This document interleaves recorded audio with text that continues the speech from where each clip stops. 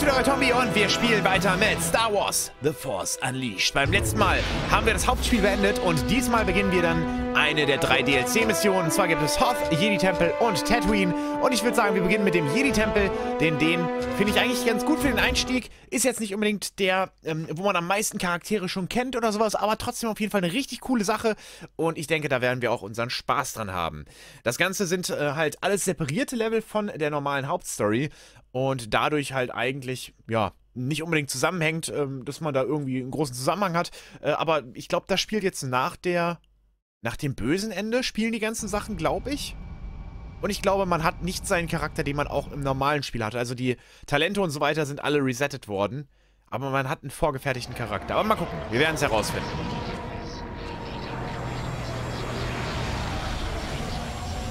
Na gut, große Erklärung gibt es anscheinend nicht. Wir landen einfach beim Jedi-Tempel.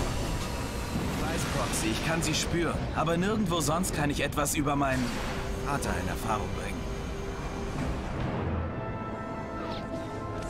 Okay, zack, und dann landen wir. Super cool, hier gibt es natürlich ebenfalls wieder Feinde, wie sie auch schon bekannt waren. Oh mein Gott, wir hier attackiert. Wir sollten vielleicht einfach mal Leute alle runterstoßen, ne? Haben natürlich die gleichen, die gleichen Movesets alle drauf, wie wir sie auch im Hauptspiel hatten. Aber haben hier, man sieht es auch schon, ein bisschen andere Kleidung teilweise, ein bisschen andere Lichtschwertsachen und natürlich, wie gesagt, sind auch anders geskillt als im Hauptspiel. Dafür haben wir hier so gesehen vorgefertigten Charakter. Das heißt, hier haben wir keinen Vorteil dadurch, wenn wir jetzt hier irgendwie ganz viele Machtsphären oder so gesammelt haben.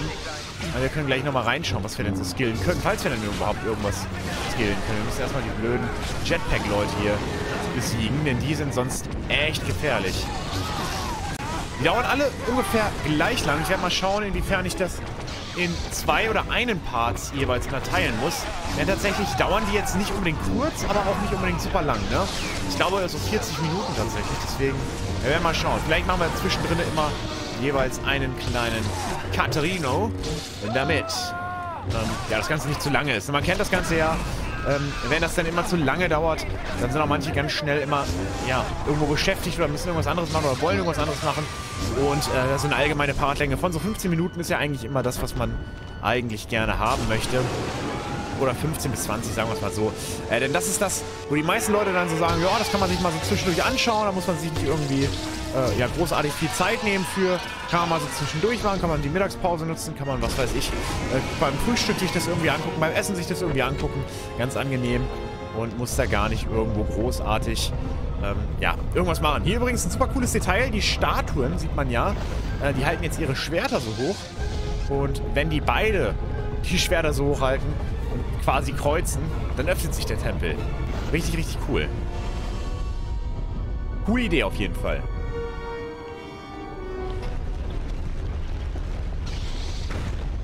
Okay, soweit, so gut.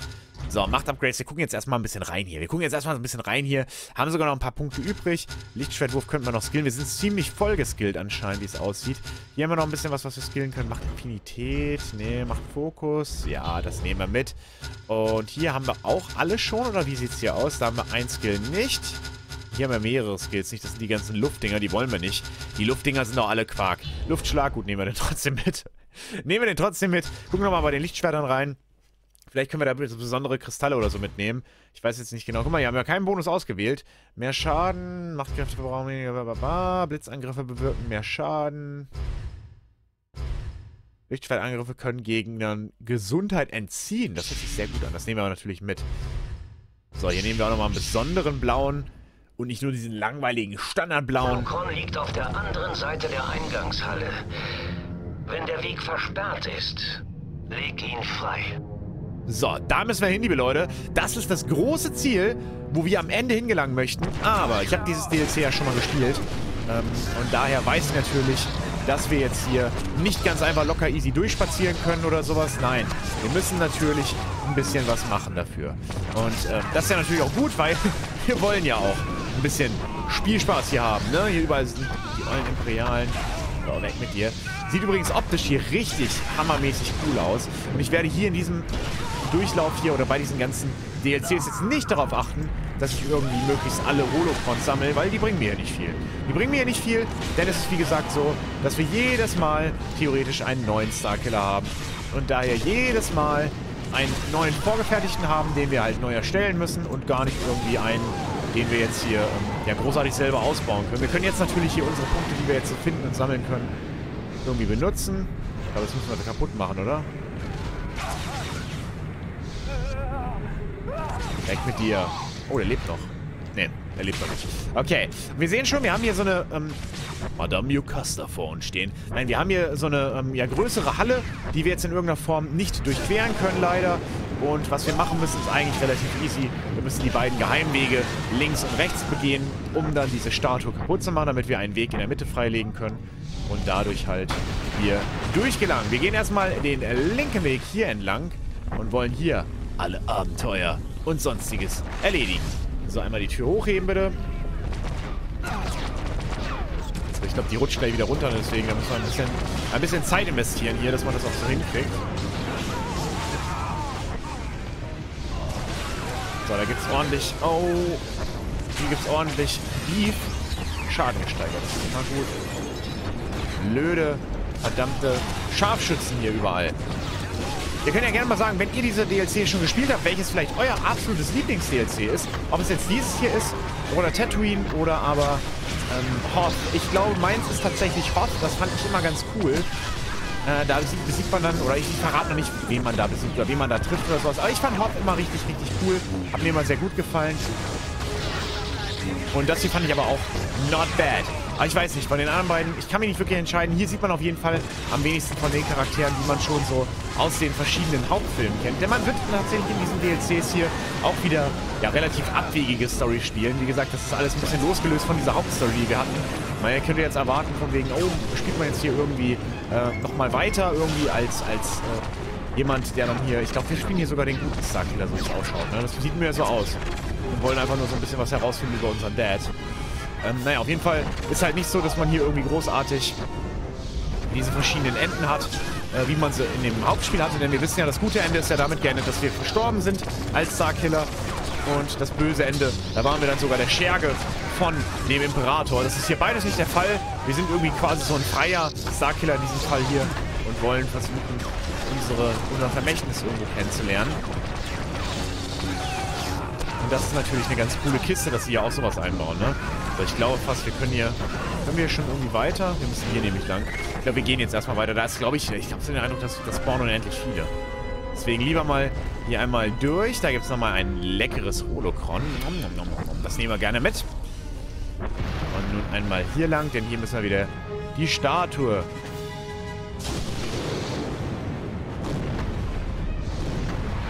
kaputt machen. So. Jetzt können wir meinen, der Weg ist frei und das reicht, aber nein, wir müssen natürlich auch nochmal auf die andere Seite. Ich weiß gar nicht genau, ob man dann da irgendwie Weg weiter freilegt oder wie das genau, oder was da genau passiert. Auf jeden Fall müssen wir nochmal auf die andere Seite rüber, um hier alles abzuschließen. Aber so, den ersten Teil haben wir jetzt schon mal bestanden. Die Dinger sind immer super nervig, die kennen wir ja auch schon aus dem Hauptgame. Ich glaube, großartig neue Gegner kamen jetzt gar nicht vor, zumindest nicht in diesem DLC. Bei Jawas Palast gibt es auf jeden Fall einige neue Gegner, das weiß ich. Und äh, wie gesagt, die Bosskämpfe. Die Bosskämpfe sind echt hammermäßig, sage ich euch hier. Die Bosskämpfe sind der Shit. Gerade bei den anderen beiden DLCs, wo wir dann auch wirklich viele, viele Einheiten und Gegner treffen werden, die wir schon kennen. Also Charaktere treffen werden, die wir schon kennen, ne? Sei es jetzt ein Luke Skywalker, sei es jetzt ein Obi-Wan, Han Solo und Co.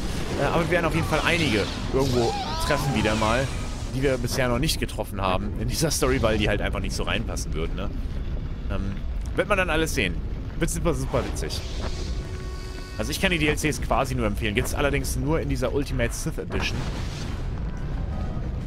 Die ist allerdings sehr, sehr empfehlenswert, wie gesagt. So, gerne davon hätten sie auch gerne noch mehr machen können. Du bist in einer Padawan-Trainingskammer. Okay. Vorsicht! Vielleicht funktionieren die Trainingsdruiden noch. Daran erinnere ich mich noch. Das hier ist ebenfalls ein Unendlichkeitsporn. Und wir müssen tatsächlich die Statuen vernichten. Ich fand das hier immer super merkwürdig, ähm, dass man hier irgendwie diese Statuen kaputt machen muss. Und, äh, wie nehmen das nochmal? Okay, da kann man einfach gegenhauen. Oder so. Die müssen wir tatsächlich alle kaputt machen. Ich fand das damals super komisch, weil ich hier im Livestream ewig gehangen habe. irgendwie locker fünf Minuten hier irgendwie rumgekämpft gegen alle und dann habe ich mir gedacht, sag mal, geht das gar nicht mehr vorbei? Was ist denn hier los? Was muss man denn hier machen? Und dann äh, wurde mir auch gesagt, ja, du musst die Statuen kaputt machen. Das geht nicht einfach so, das geht nicht einfach weiter. Du musst da schon dafür sorgen, dass da keine Gegner mehr kommen. Naja, jetzt bin ich auf jeden Fall ein bisschen smarter. Irgendwie konnte man hier auch diesen Außenring hier aktivieren. Irgendwie ging das, dass hier so eine Energiebarriere entstanden ist. Oder habe ich jetzt irgendwas vergessen? Ich weiß es nicht mehr. So, weg mit dem. Die haben hier alle die krassen Padawan-Druiden. Haben hier natürlich alle richtig krasse Moves und alles drauf. Ja, ich hänge hier fest gerade. Ja, das wollte ich aktivieren. Haben wir irgendwo noch eine Statue, die wir nicht, noch nicht gemacht haben? Oder sind das einfach... Ist es einfach der Rest vom Schützenfest? Ich weiß nicht genau, ob diese Statuen hier oben auch kaputt gemacht werden müssen. Ich glaube nicht. So, Energiebarriere aktivieren, alle da reinschubsen. Das ist eigentlich quasi immer die einfachste Variante, wie man die vernichten kann. Kommen auch schon wieder unendlich viele, habe ich den Eindruck. Habe ich denn hier irgendwo was vergessen oder sind die noch nicht kaputt, die Dinger? Ah, die sind noch nicht kaputt, die Dinger. Ja, okay. Die sind noch nicht kaputt genug. Da kommen immer noch unendlich. Der ist kaputt, der ist kaputt, der ist kaputt. Jetzt haben wir alle. Okay. Ich dachte schon. Ich dachte schon, woran liegt es denn jetzt? Dachte ich schon hier. Meine Güte, okay. Weiter geht's. Hier oben geht's natürlich weiter. Da habe ich beim letzten Mal Ewigkeiten dran gesessen im Livestream, wie gesagt. Jetzt müssen wir hier... Ah, jetzt können wir hier das hier hochklappen. Damit wir da natürlich auch... Entschuldigen Sie, Sir. Damit wir hier natürlich auch den Sprung drüber schaffen können. Sind die alle besiegt? Ich glaube, sie sind alle besiegt. Okay, einmal ganz kurz abwarten. Und hochklappen das Ding. Sehr gut. Tür geht wieder auf, dass wir auch unseren Rückweg gesichert haben. Und damit haben wir jetzt eine Möglichkeit, darüber zu kommen. Alles ganz easy, würde ich sagen, ne? Oh. Ah, hier haben wir nochmal ein Holocron. Machtkraftsphäre. Obwohl ich nicht genau weiß, was das uns großartig bringen soll in diesem Falle. Man hier überhaupt... War das der Weg? Ja. Wir haben ja quasi schon alle möglichen Sachen, die wir so brauchen. Na, wir können gleich trotzdem nochmal ein bisschen schauen. Aber wenn wir nicht irgendwas Interessantes, Tolles nochmal skillen können. Aber sammeln wir erstmal das Holocron da vorne nochmal ein. Jetzt sollten wir vielleicht lieber, bevor wir jetzt gleich in der Luft getroffen werden und dann irgendwie unglücklich runterfallen, dann quasi vielleicht nochmal alles neu machen müssen. Ich weiß nicht, wie nett die Rücksetzpunkte hier sind. Aber ich glaube, eigentlich waren die ja immer recht human platziert. Okay, jetzt können wir nochmal schauen. Macht Upgrades. Okay. Hier haben wir jetzt schon 8. Das können wir jetzt mal den Lichtschwertwurf noch verbessern oder so. Hier können wir die beiden Sachen verbessern. Hier hatten wir schon alles. Passt. Okay. Soweit, so gut. Jetzt ab geht's hier ins große Finale. Ich weiß gar nicht mehr genau, wie es hier weiterging. Aber ich glaube, das, das Level geht schon noch ein bisschen. Level geht schon noch ein bisschen, aber bis jetzt machen wir gut Progress und kommen da richtig gut durch. Schönes DLC. Sith Holocrons verbessern vorübergehend deine Kräfte. Hier musste man gleich irgendwelche Brücken bauen, das weiß ich noch. Aber hier gab es auch einige Bosskämpfe, die eigentlich auch echt cool und fordernd waren. Hier ist das Holocron, das wollen wir übrigens haben.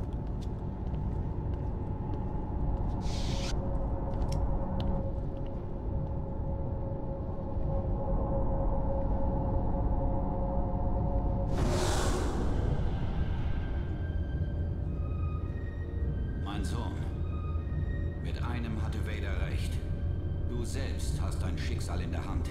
Mann, ist der Die leise. dunkle Seite ist stark in dir, aber es gibt Hoffnung. Das Blut eines wahren Jedi, mein Blut, fließt durch deine Adern. Doch du musst dich den Jedi-Prüfungen stellen. Horche in dich hinein. Und du wirst wissen, was zu tun ist. Mal ganz kurz was schauen. Aber eigentlich, ich habe nichts verändert von den Einstellungen her. Nee. Ich hoffe, meine Ohren platzen dadurch nicht. Machen wir mal die Stimmen mal ein bisschen lauter. Aber der war richtig leise. Es tut mir sehr leid. So, schließe die Prüfung des Verstands ab.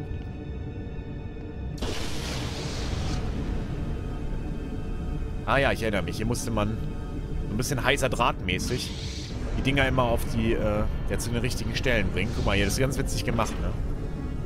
Nur nicht zu weit weg von dem Teil. Ja, das haben wir verkackt.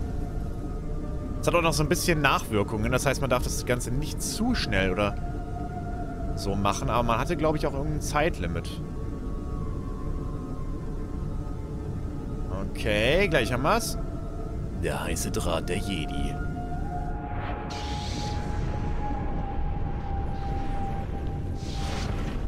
Jetzt übertreiben sie aber wirklich, ja? Nein! Äh, nicht zu weit weg von dem... dem Teil.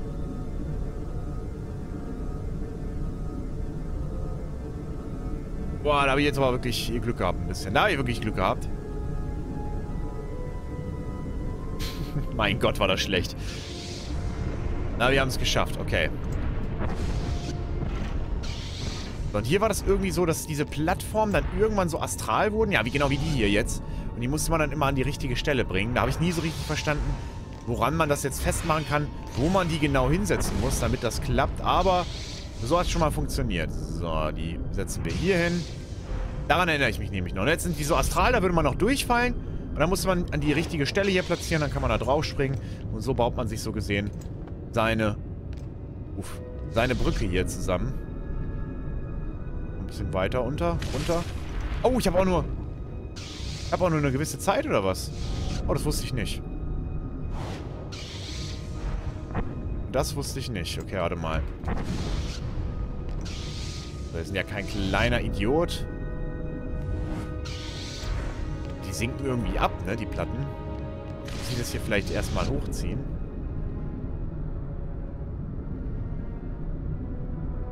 Na, wo willst du denn fest? Hier.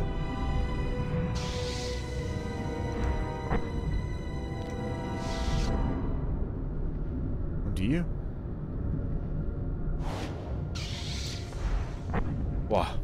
Ich auch schon ein bisschen bange, dass das hier nicht mehr klappt. Ja, da können wir eigentlich so drauf, oder? Und da kommen wir jetzt eigentlich auch rüber. Passt, okay.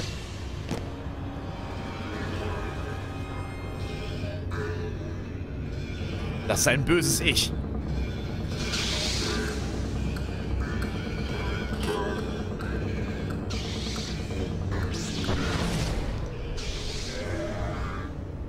Besiege den Sith-Krieger. Ah, der macht umgekehrte Steuerung bei mir. Oh mein Gott. Oh mein Gott. Oh, ist komisch.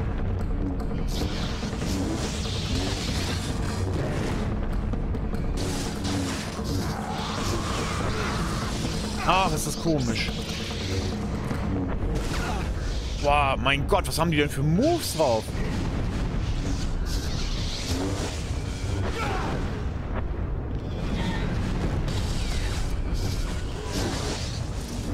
Daran erinnere ich mich jetzt nicht, dass die Bosskämpfe so schwer waren, aber der scheint mir doch echt schwer zu sein.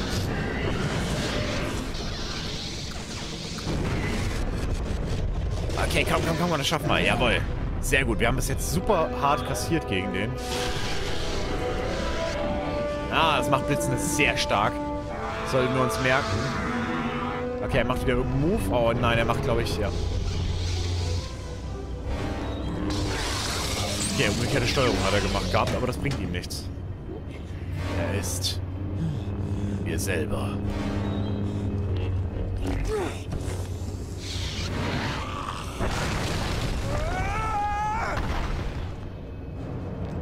Okay, nächste Ebene. Weiterer Kampf. Oh nein. Oh mein Gott, das war so, dass er uns den Boden dann wegnimmt. Das gefällt mir gar nicht.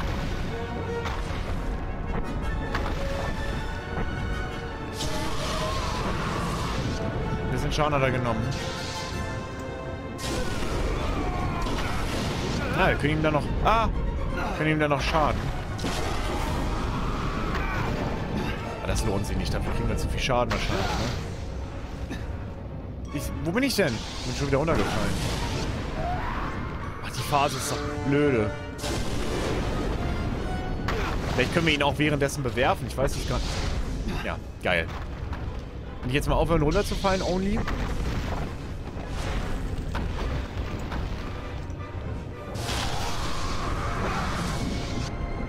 Ja, ich werde bald sterben.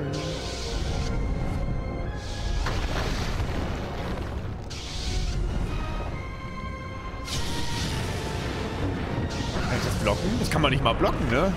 Das heißt bitte nicht mehr dieses mit dem komischen Rumgewerfe hier. Einfach mal richtiger Kampf hier. Richtiger Kampf, das mir lieber, du.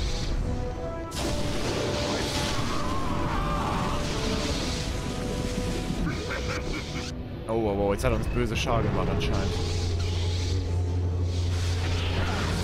Ach Mann, der macht irgendwelche Attacken immer, die wir nicht abwehren können. Nicht wirklich. So, komm jetzt aber. Das war aber verdammt knapp, du. Oh.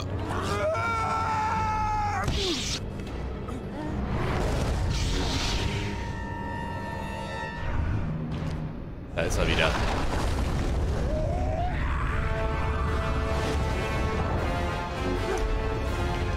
Alles ganz schön abstrakt, ne? Hier in dieser komischen Machtwelt.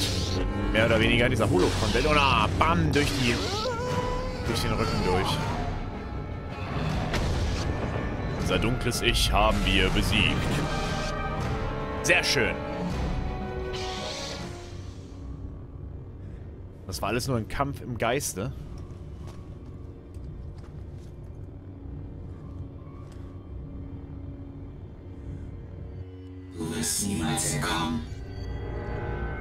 Du da. Hast du gefunden, wonach du gesucht hast? Was auch immer hier war. Es ist fort. Nichts ist übrig. Tja. Es lässt uns mit Rätseln zurück. Aber das war es tatsächlich, glaube ich, mit dem ersten DLC, oder?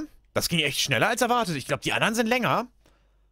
Wenn ich mich jetzt nicht täusche, aber ich bin auch verdammt gut durchgekommen. Ja, tatsächlich, das war's mit dem ersten DLC. Jedi Tempel haben wir abgeschlossen. 1722 haben wir gebraucht. Beim nächsten Mal werden wir uns dann anschauen, entweder der Hoth oder Tatooine. Ich gehe von Tatooine aus. Also von daher, das war's mit dem ersten DLC. Ich hoffe, ihr hattet Spaß beim Zuschauen und dann bis zum nächsten Mal. Ciao, ciao.